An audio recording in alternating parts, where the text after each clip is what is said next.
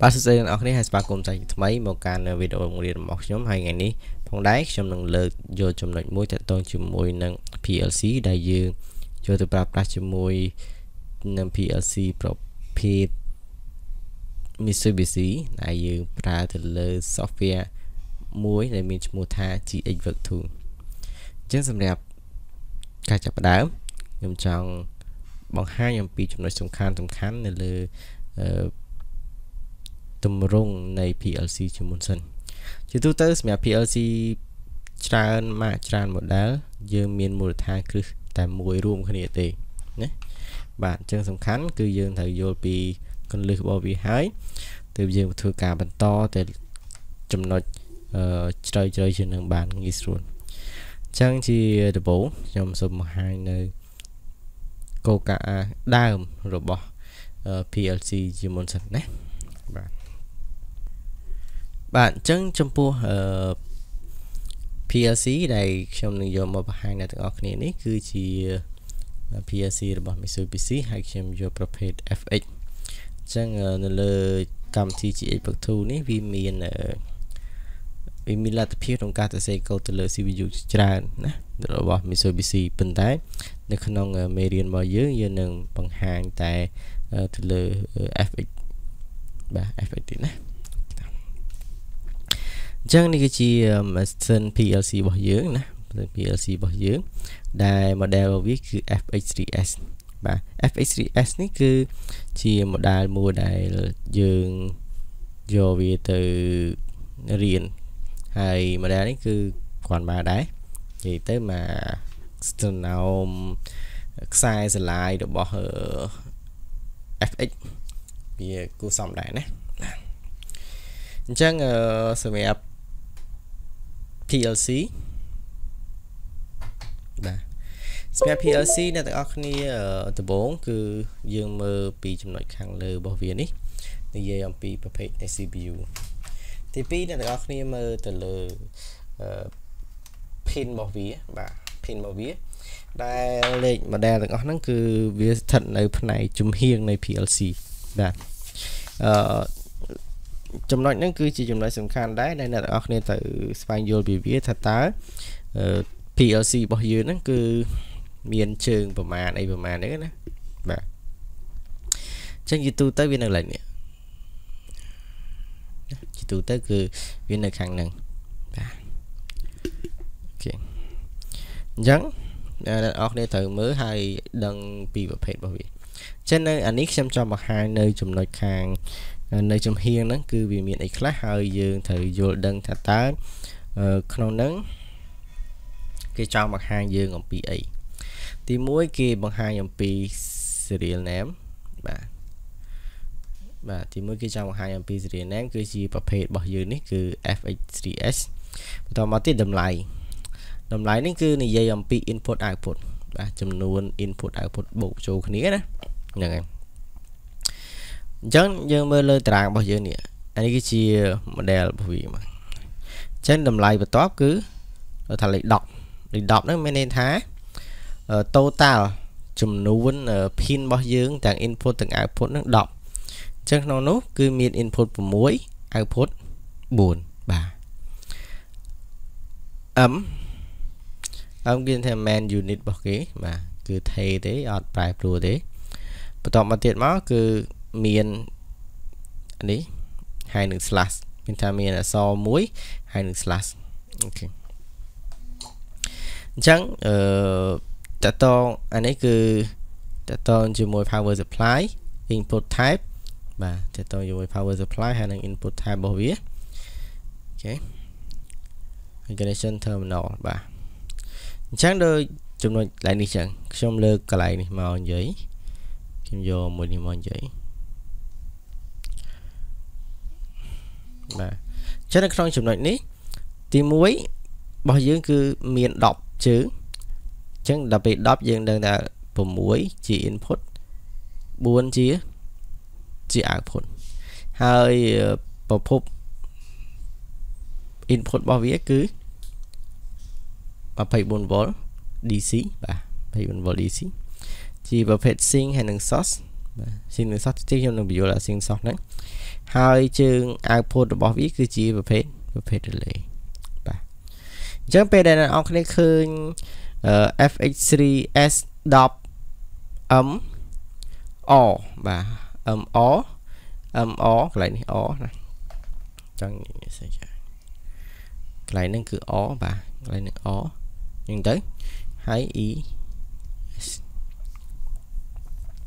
o ហ្នឹងគឺសំដៅ delay ណាបាទ សំដៅលើ delay ហើយ ES គឺសំដៅទៅលើ power AC power supply ហើយ output របស់យើងគឺជា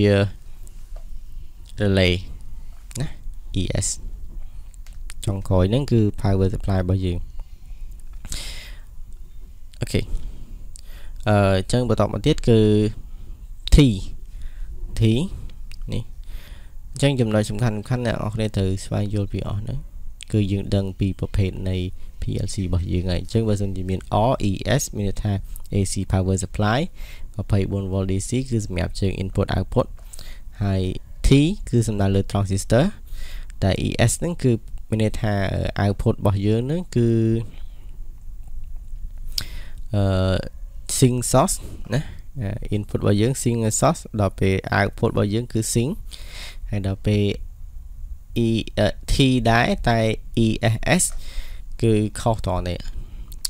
តតែ transistor output ទេណាដែលវាវាខុសគ្នាណាបាទបើសិនជាវាជា relay គឺ R ហើយ ES ធម្មតាទេបាទអញ្ចឹងអើយយើងបន្តទៅមុខទៀត អានេះគឺជា security input ដែលខ្ញុំគិតថាបាទជាបាច់បញ្យល់ច្រើនទេបាទអ្នកគ្នាងាយស្រួលយល់ទេណា sync source ហ្នឹងគ្នាមើលតាមហ្នឹងទៅដោយសារយើងធ្លាប់បានសិក្សាឲ្យម្ដងហើយទៅជាមួយ PLC ហើយតមកទៀតគឺ output output របស់យើងមានពីរប្រភេទតែមានជាប្រភេទអឺ relay output ហើយនិង transistor output ចឹង relay output ជាទូទៅវាដំណើរការរបស់វាជាកុងតាក់ កុងតាក់ relay ណា on off on off ធម្មតាចឹងនេះប៉ុន្តែចំពោះ relay output វាអត់មានលទ្ធភាពក្នុងការបញ្ជូនសញ្ញាដែលមានល្បឿនលឿនទេដូចជាប្រភេទដែលយើងយកទៅប្រើជាមួយនឹង stepper motor ឬក៏ការងារអីដែលល្បឿនលឿនណាចឹងវាវាប្រើអត់កើតទេណាដោយសារវាជា relay ប៉ុន្តែបើសិនជាយើងចង់ប្រើជាមួយនឹងឧបករណ៍ឬក៏សម្ភារៈមួយចំនួនដែលជាប្រភេទទទួលសញ្ញាលឿនគឺអ្នកនរគ្នា ច្បាស់ណាស់ត្រូវប្រើប្រភេទនេះបាទគឺយើងត្រូវប្រើប្រភេទ transistor ចឹង transistor មានពីរប្រភេទមាន sync ហើយនឹងហើយនឹង source សម្រាប់ relay គឺអត់មានទេ relay គឺមានតែ on ហើយនឹង off ទេណាបាទអូខេអញ្ចឹងយើងបន្តទៅមុខទៀតហើយនេះគឺជា terminal input output របស់យើងបាទអញ្ចឹងដូចអ្វីដែលយើងនឹងយកមកសិក្សាគឺយើងប្រើប្រភេទ FX3S 30 MT ណា ES ហើយចុះនៅត្រង់កន្លែងនេះគឺអ្នកគ្នាទៅចំណាំដែរនៅលើ PLC របស់យើងគឺឃើញនៅកន្លែងនេះគឺគេដាក់កលៈនេះណាគេដាក់កលៈនេះអញ្ចឹងកលៈហ្នឹងគឺសំដៅទៅលើ com មួយនេះជាមួយនឹង output មួយនេះតោះនេះអញ្ចឹងមក com 0ហ្នឹងអាចភ្ជាប់មានតំណែងជាមួយនឹង y1 y2 y3 អត់ទេណាអញ្ចឹង com 1មួយ y1 com 2ជាមួយនឹង y2 y3 y4 y5 ហើយ com 3 y6 y7 y 10 y 11ហើយ com 4គឺ y 12ដល់10 15ដល់នេះឆ្ងល់ហេតុអីបានហេតុអីបានយើងយើងអវត្តមាន y 8ហើយនឹង y 9បាទដោយសារតែប្រភេទនៃប្រភេទនៃ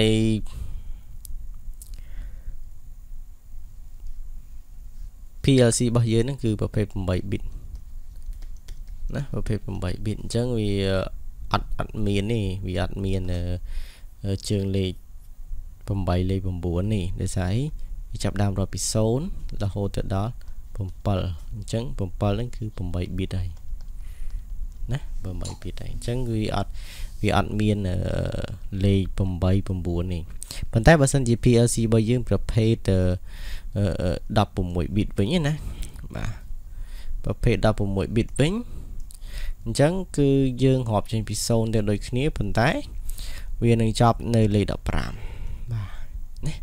គឺស្មើនឹង16បាទ16 bit តោះណាហ្នឹងហើយអញ្ចឹងសម្រាប់ PLC របស់យើងទាំង input output នេះគឺជាប្រភេទ8 bit អញ្ចឹងវាចប់ត្រឹមតែលេខ7លេខអញ្ចឹងវានឹងចាប់ផ្ដើមលេខថ្មីគឺជាលេខ10ទៅតែម្ដងបាទ10រហូតទៅដល់17តែម្ដងណាអូខេអញ្ចឹងយើងបន្តទៅមុខទៀត បាទអញ្ចឹងកម្មវិធី GAVX2 យើងប្រើសម្រាប់បង្កើត ladder diagram ហើយនៅក្នុងកម្មវិធី GAVX2 នេះផងដែរវាអាចធ្វើការបង្កើតបានច្រើនណាស់ទៅលើភាសានៃ PLC បាទច្រើនប៉ុន្តែសំខាន់ឥឡូវយើងរៀនទៅលើ ladder សិនអូខេអញ្ចឹងមូលដ្ឋានគ្រឹះរបស់ ladder diagram គឺយើងត្រូវយល់ពីវាទី1អ្នកនរគ្នាត្រូវស្គាល់ NO contact ដែលមិនសញ្ញាវាបែបនេះ កងតាក់ចំនួនចំហបាទវាធ្វើការប្រែប្រួលជាប់នៅពេលដែល input ឬ coin ដំណើរការអូខេ NC contact គឺនេះមិនសញ្ញាវាបែបនេះដែលវាឈិតដៀងជាមួយនឹង NO ដែរដោយសារតែវាមាន slash ចំកដាមួយចា slash កាត់ទេណាហ្នឹងវាមានលក្ខណៈផ្ទុយពីពីពី NO បាទវានឹងប្រែប្រួលខុសពី NO ដែលពេលដែល ជំនួយជាប់ហ្នឹងវានឹងចំហពេលដែល input ឬក៏ coin នេះដំណើរការអូខេ rising pal ហើយនិង falling pal rising pal គឺជាប្រភេទ input contact មួយដែរដែលវាធ្វើការពេលដែលយើងផ្ដល់ភ្លើងទៅឲ្យវាគឺវាមកភ្ញូចទេហើយក៏វាផ្ដាច់ទៅវិញតែដល់ពេល falling pal មានថាយើងផ្ដល់ភ្លើងទៅឲ្យវា គឺវានឹងមិនទាន់ធ្វើការភ្លាមទេ តែពេលយើងដកដៃវានឹងធ្វើការបានមួយភ្ញូចបាទចឹងយើងបន្តទៅមុខទៀតគឺតកតងជាមួយនឹង coin coin មាន4ប្រភេទដូចគ្នា ដែលយើងមាន y ដែលជាគេហៅថា output coin មាន m ដែលគេហៅថា auxiliary coin មាន t ដែលគេឲ្យឈ្មោះថាជា timer coin ហើយនឹងចុងក្រោយគឺ c គេហៅថា counter coin អញ្ចឹងសម្រាប់ output coin គឺគេប្រើប្រាស់វាសម្រាប់ បញ្ជូនចេញតែម្ដងមានន័យថាការងារនៅក្នុង PLC ហ្នឹងយើងបញ្ជូនទៅ output មួយណាហើយ output ហ្នឹងភ្ជាប់ទៅគ្រឿងទទួលរបស់យើងមួយណាអញ្ចឹងទៅ auxiliary coil គឺយើងប្រើប្រាស់សម្រាប់អឺធ្វើការជំនួយទៅលើ circuit ផ្សេងផ្សេងនៅក្នុង program របស់យើងហើយក្នុងនោះផងដែរ auxiliary coil វាមានច្រើនប្រភេទណាទីទៀតខ្ញុំនៅបង្ហាញអំពីប្រភេទនៃ auxiliary coil ហ្នឹង timer timer យើងដឹងហើយ timer គឺជាប្រភេទ coin មួយប្រភេទដែលវាអាចកំណត់ទៅលើពេលវេលា មានថាការពន្យាពេលហើយនៅក្នុងការពន្យាពេលហ្នឹងវាមានតាមនឹងទៀតចឹងខ្ញុំនឹងបង្ហាញនៅខាងមុខណា counter គឺជាប្រភេទ coin ដែរប៉ុន្តែ coin ហ្នឹងគឺអឺទៀមទាចំនួន បាទទៀមទាចំនួន ទៅវាធ្វើការអញ្ចឹងណាអូខេអញ្ចឹងជាដំបូងតកតងជាមួយនឹង ladder diagram ខ្ញុំចង់បង្ហាញនៅ sequence មួយដែលបង្ហាញអំពីទម្រង់ sequence ដែលគេហៅថា cell holding មានន័យថាពេលដែលយើងចុចទៅលើប៊ូតុងមួយបាទចុចទៅលើប៊ូតុងមួយទៅហើយ output នឹងដំណើរការបាទ output ដំណើរការពេលដែលយើងដកដៃចេញពីប៊ូតុងហ្នឹង output នៅតែដំណើរការដដែលអានោះហើយគេហៅថា self holding គឺវាអឺ ចងខ្លួនវាជាប់អញ្ចឹងណាបាទពាក្យថា self holding នៅកន្លែងនេះខ្ញុំចង់បង្ហាញអត្ថន័យវាអានេះជា y output របស់យើងក៏ជា y ដែរអញ្ចឹងពេលដែលអឺ output នេះដំណើរការដូចខ្ញុំបង្ហាញថា NO ពេលដែល input ឬក៏ coil ដំណើរការជាកុងតាក់របស់វានឹងផ្លាស់ប្ដូរពី ចំហទៅជាជាប់ បាទចំហទៅជាជាប់អញ្ចឹងពេលដែលវាជាប់មានន័យថាប្រភពចរន្តអគ្គិសនីរបស់យើងនេះអាចរត់ពីធំនេះមកអញ្ចឹងពេលយើងចុចប៊ូតុងវាជាប់អញ្ចឹងហត់អញ្ចឹងមកចូលមកនេះអញ្ចឹងវាជាប់ពីបានពីផ្លូវទៅឯងបាទនឹងឲ្យបានពីរផ្លេងអញ្ចឹងពេលដែលអ្នកនរគ្នាដកដៃចេញពីកន្លែងនេះក៏វានៅតែនៅតែជាប់ដែរក៏វានៅតែជាប់ដែរណាបាទ អាហ្នឹងគឺជាទម្រង់ sequence ដែលគេហៅថា cell holding តោះណាអូខេ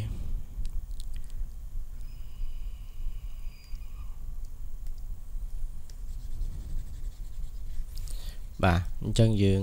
បន្តអូខេ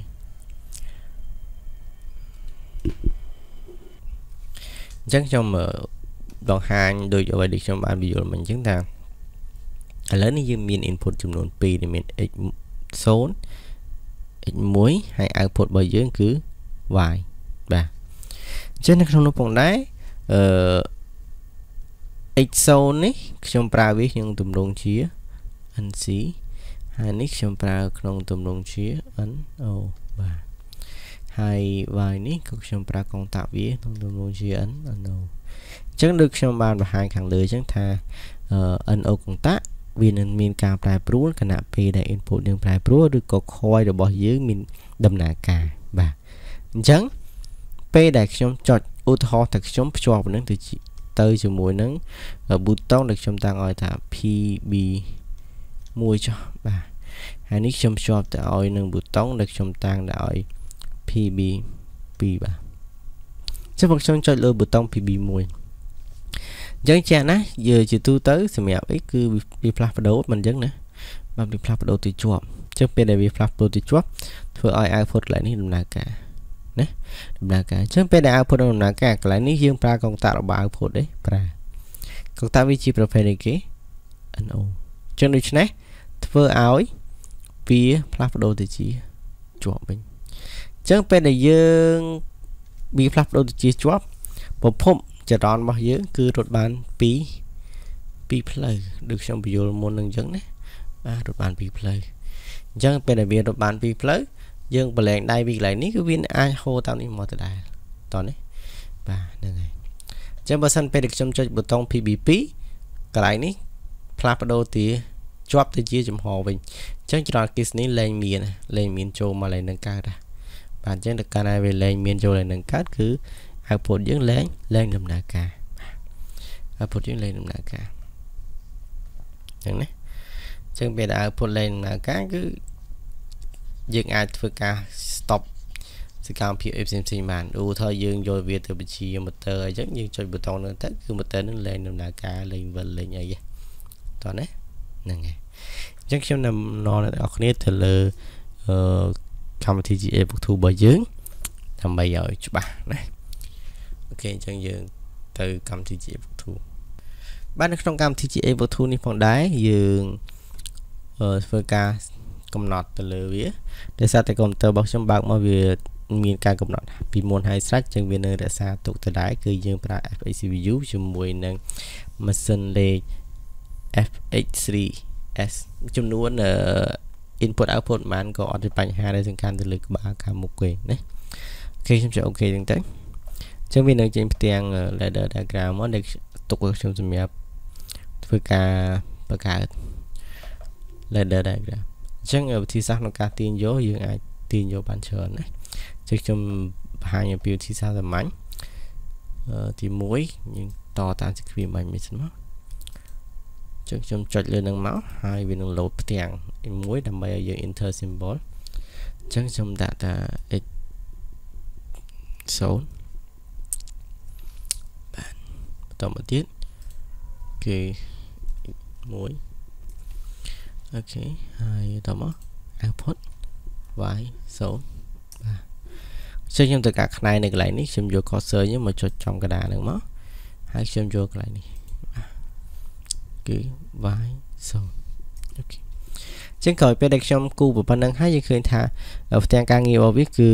ឡើងពណ៌ប្រផេះអញ្ចឹងខ្ញុំត្រូវការ compile វាសិន ឬក៏ build វាសិនណាបាទអឺ build អ្នកទាំងអស់គ្នាអាចធ្វើការចុចអឺនៅលើនេះក៏បានឬក៏ shortcut key F4 អញ្ចឹងពេលអ្នកនរគ្នា build គឺវានឹងដូរពីផ្ទាំងពណ៌ប្រផេះមិញហ្នឹងមកពណ៌សវិញណាបបន្តមកទៀតអ្នកនរគ្នាអាចធ្វើការ simulation នៅលើនឹងក៏បានបើសិនជាអ្នកនរគ្នាអត់មាន PLC នៅជាប់ខ្លួនប៉ុន្តែ simulation វាបានបើចំណុចមួយចំណុចទេព្រោះអីវាมันអាចដូចជាមួយនឹង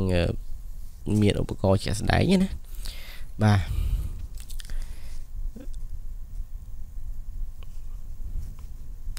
អូខេអញ្ចឹងយើងនឹងធ្វើការ simulation ដល់អ្នកនរគ្នាចុចលើ debug ហើយ start simulation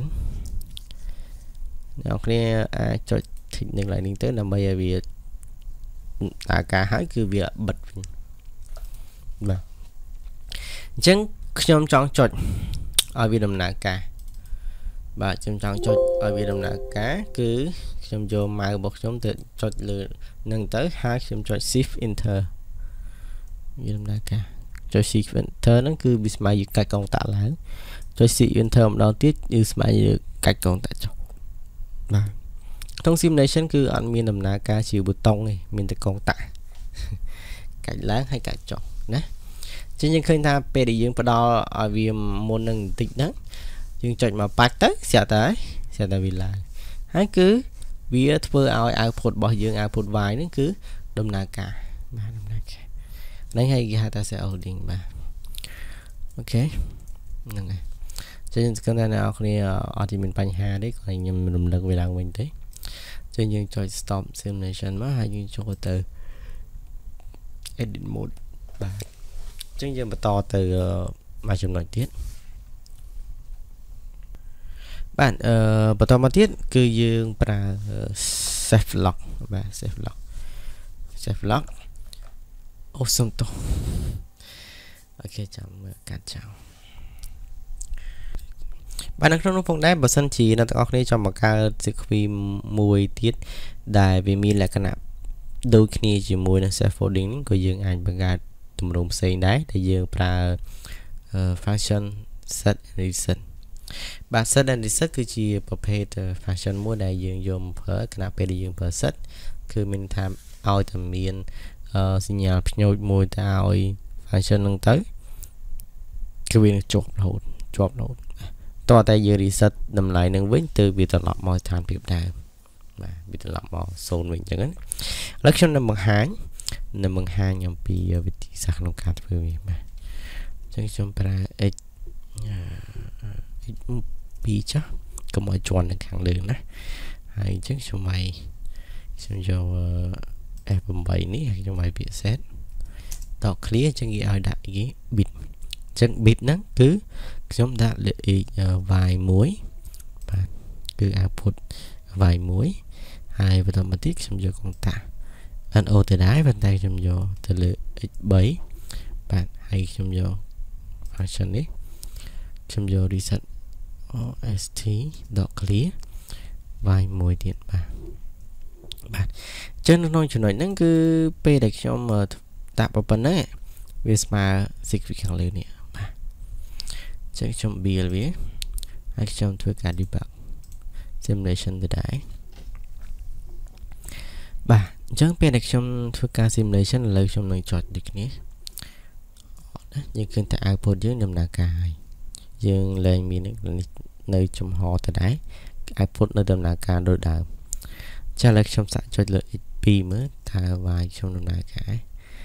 ដំណើរការបាទខ្ញុំដកចេញ នៅតែនៅតែដំណើរការទៅដែរបាទចឹងដល់ពេលខ្ញុំទៅ reset ខ្ញុំចុច x3 reset បាទអញ្ចឹងពេល reset ហ្នឹងគឺជើង output យើងនឹងដំណើរការបាទនឹងដំណើរការភ្ជាប់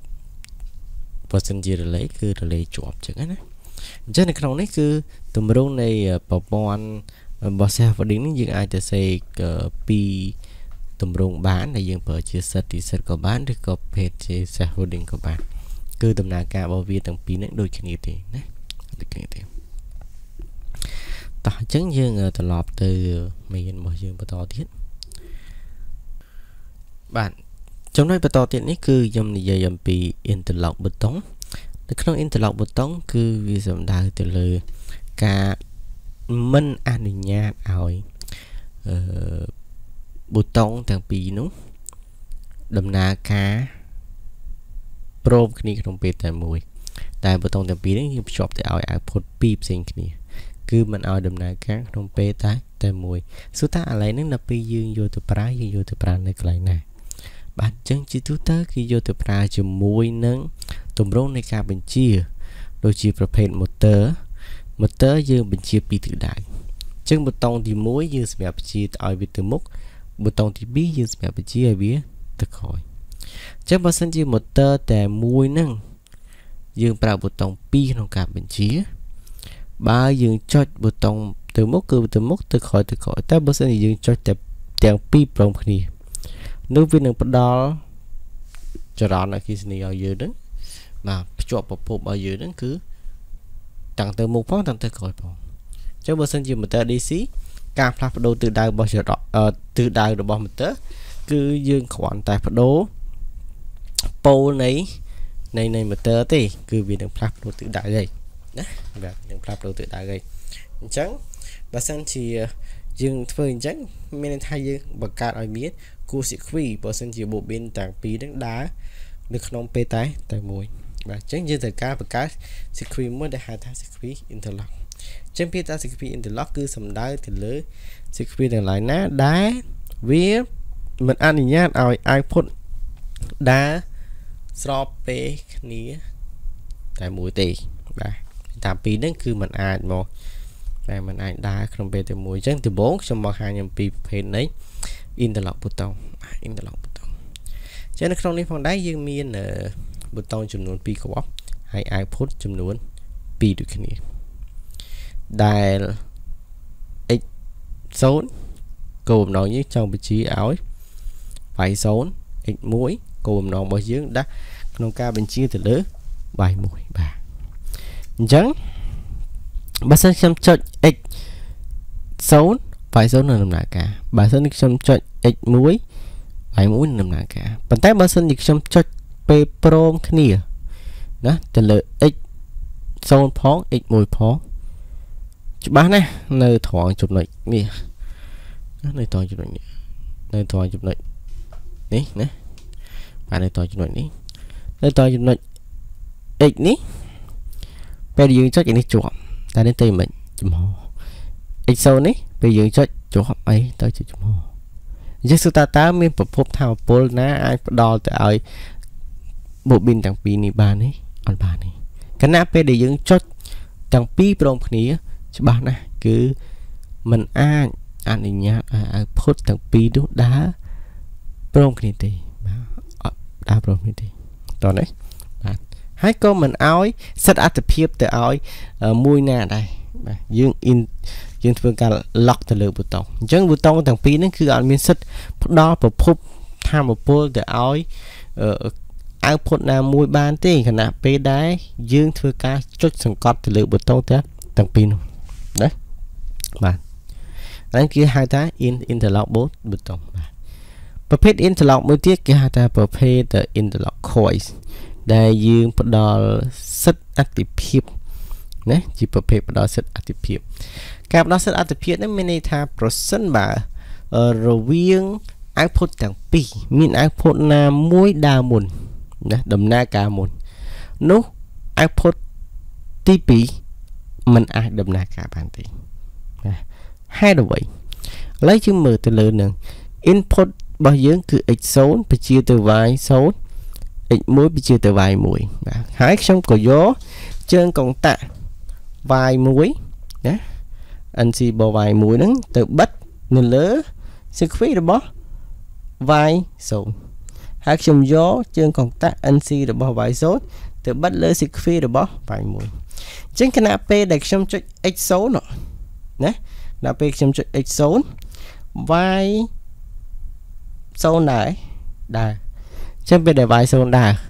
ខាងក្រោមខាងក្រោមរបស់យើងកន្លែងនេះច្បាស់ណាស់គឺវាចំហពេលដែលវាចំហតើពេលដែលវាចំហអញ្ចឹងស្រាប់តែយើងមកចុច x មួយតើអាចឲ្យ y មួយដំណើរការបានទេមិនបានទេបាទមិនបានទេ ព្រោះអីវាបានកាត់ផ្ដាច់នៅត្រង់ចំណុចនេះបាត់ហើយណាវាកាត់ផ្ដាច់នៅត្រង់ចំណុចនេះបាត់ហើយអញ្ចឹងយើងមិនអាចធ្វើការបញ្ជាអឺ2ក្នុងពេលតែមួយទេប៉ុន្តែវាអនុញ្ញាតឲ្យមួយដំណើរការបាទវាអនុញ្ញាតឲ្យមួយដំណើរការក្នុងចំណោម2ហ្នឹងមានមួយដំណើរការប៉ុន្តែ security interlock មុននោះគឺអត់ទេបើសិនចុចទាំងពីរគ្មានមួយណាដំណើរការបានទេបាទគ្មានមួយណាដំណើរការបានទេណាអូខេ បាទ Tango Secret គឺតកតងជាមួយនឹងប្រភេទប៊ូតុងមួយចុចម្ដងដើរចុចម្ដងទៀតដាច់បាទដូចជាប៊ូតុងនៅលើទូទួអញ្ចឹងពេលដែលអ្នកគ្នាចុចម្ដងវាដំណើរការចុចប៊ូតុងដដែលគឺវាគឺវាដាច់បាទវាដាច់នេះអញ្ចឹងនេះគឺជា secret របស់វាណាបាទ secret របស់វាដែលយើងអឺយកមកបង្ហាញ បាទគ្រូយកមកបង្ហាញអ្នកនរគ្នាហ្នឹងបាទអញ្ចឹង secret នេះគឺមានន័យទេយើងប្រើប្រភេទ rising មានន័យថាយើងឲ្យវាចុចទៅទោះបីថាចុចយូរប៉ុណ្ណាក៏វាភ្ញូចតែម្ដងដែរបាទវាភ្ញូចតែម្ដងដែរអញ្ចឹងអ្នកនរគ្នាអាចយក secret នេះយកទៅតែសាកល្បងបានបាទនេះក៏ជា secret tangle ដែរហើយយើងមានពីររបៀបណាបាទរបៀបទី1ខាងលើហើយរបៀបទី2គឺ ខាងក្រោមនេះបាទដំណើរការដូចគ្នាណាដំណើរការដូចគ្នា ដំណើរការរវាង sequence ទាំងពីរហ្នឹងទាំងលើទាំងក្រោមហ្នឹងគឺដំណើរការដូចគ្នាបែបហ្នឹងអត់មានអីខុសគ្នាទេណាអត់មានអីខុសគ្នាគ្រាន់តែយើងផ្លាស់ប្ដូរទម្រង់នៃ sequence របស់យើងឲ្យវាមានលក្ខណៈខុសគ្នាតែប៉ុណ្្នឹងទេបាទអូខេអញ្ចឹងខ្ញុំចូលទៅដល់ប្រភេទ coin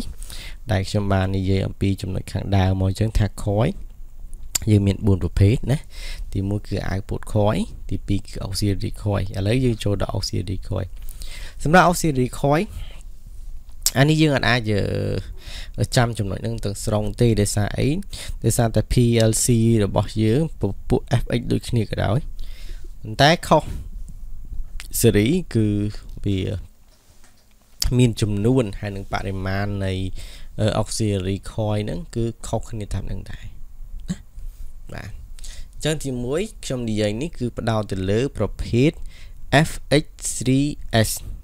FX3S អញ្ចឹងប្រភេទទូទៅ គឺពី0រហូតទៅដល់383ប្រភេទ output អឺទម្រង់ដំណើរការវាដូចជា output ចឹងដែរគ្រាន់តែថាវាអត់បញ្ចេញសញ្ញាណមកខាងក្រៅទេ មានភ្លើងទៅឲ្យវាវាបញ្ជាជើងកុងតាក់របស់វាជាប់ផ្ដាច់ គឺវាជាកុងតាក់របស់វាផ្ដាច់ដែរបាទបន្តមកទៀតគេហៅថា latching គឺលក្ខខណ្ឌចងចាំណាបាទ special relay គឺជាប្រភេទ relay ដែលពិសេសមួយនៅ special relay ហ្នឹងគឺយើងអាចយកវាទៅប្រើនៅក្នុងលក្ខខណ្ឌជាប់រហូតឬក៏ផ្ដាច់រហូត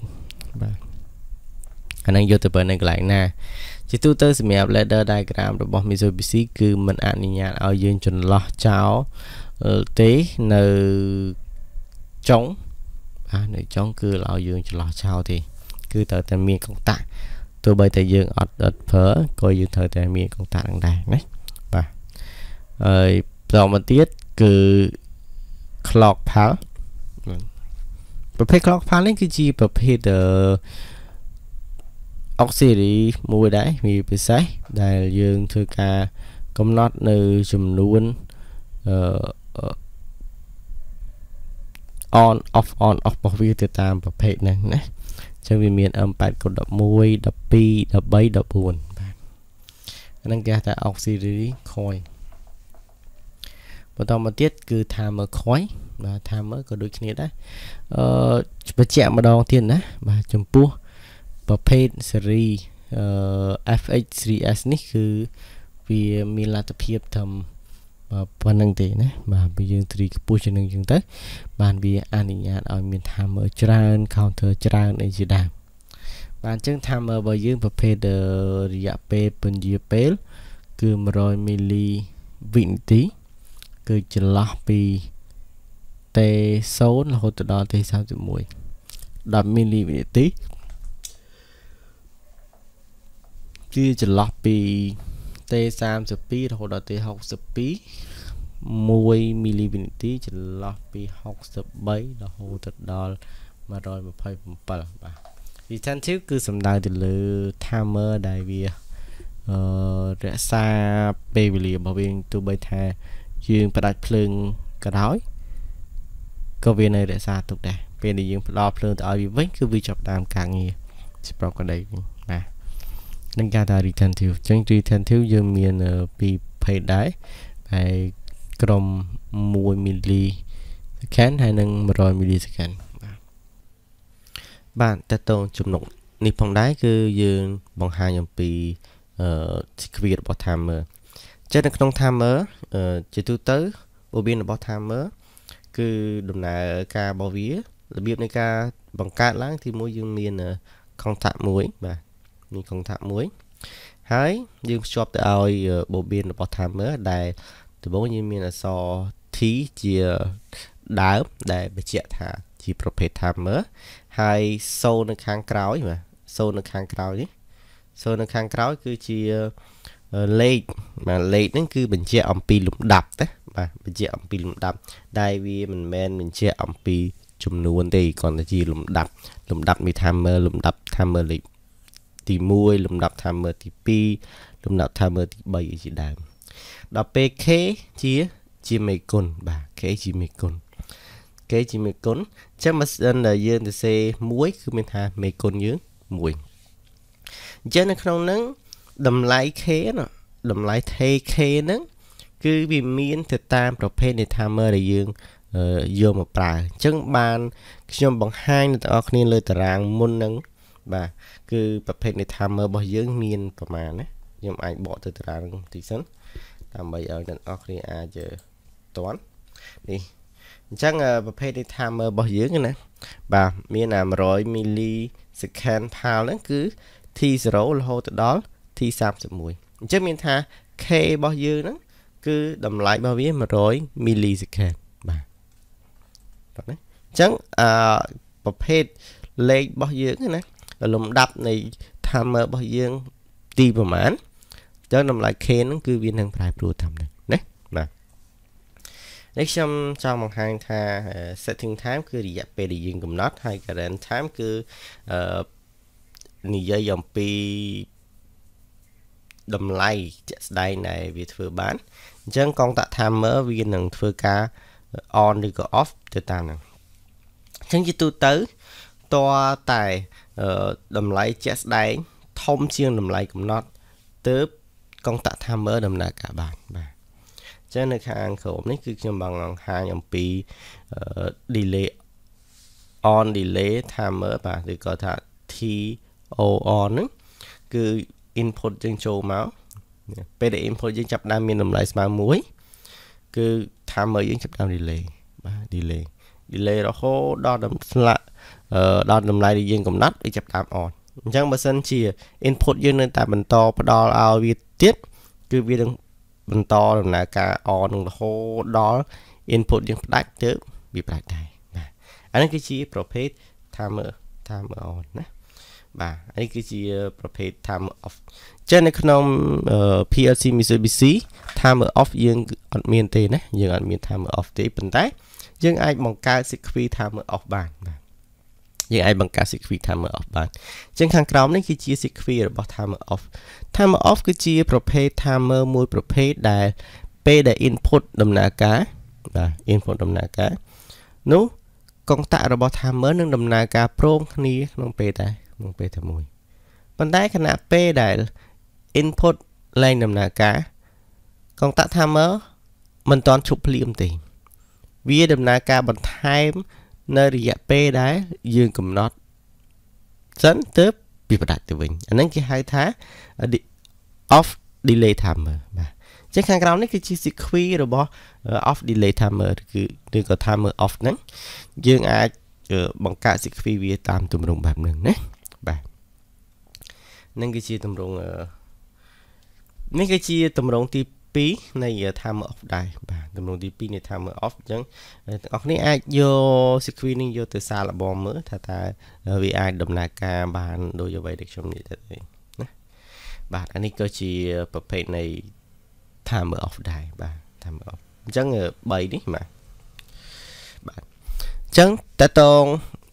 ចំណុចទាំងប្រមាណដែលខ្ញុំបានលើកឡើងខាងលើ គឺខ្ញុំរំលឹកណាបាទខ្ញុំរំលឹកឡើងវិញ ដើម្បីឲ្យអ្នកទាំងអស់គ្នាយល់អំពីមូលដ្ឋានគ្រឹះនៃការសិក្សាទៅលើ PLC ហើយអានេះដោយសារអីសម្រាប់អ្នកដែលធ្លាប់រៀន PLC ហើយគឺអត់សូវជាបញ្ហាទេខ្ញុំគាត់នៅរំលឹកឡើងវិញទៅឬក៏អ្នកទាំងអស់គ្នាតតដែរឃើញស៊ីគ្វីអស់ហ្នឹងអ្នកទាំងអស់គ្នាអាចយកវាទៅសិក្សាបន្ថែមណាបាទអញ្ចឹងសម្រាប់វីដេអូក្រោយខ្ញុំនៅបង្ហាញ មេរៀនបន្ទាប់ដែលតកតងជាមួយនឹង function ផ្សេងផ្សេងដែលខ្ញុំក៏នឹងរំលឹកឡើងវិញដែរតកតងជាមួយនឹង BCD អីខ្ញុំគិតថាវាជាចំណុចដែលសំខាន់សម្រាប់យើងដោយសារតែដំណាក់កាលរបស់យើងត្រូវការប្រើនេះគឺយើងចង់បង្ហាញទៅលើ seven segment ដែលមាននៅលើ control panel ណាអញ្ចឹងសម្រាប់ថ្ងៃនេះវីដេអូបង្រៀនរបស់ខ្ញុំខ្ញុំសូមស្រេះតែប៉ុណ្្នឹងសិនចុះ ហើយយើងនឹងជួបនៅវីដេអូបន្តបន្តទៀតបាទសូមអរគុណ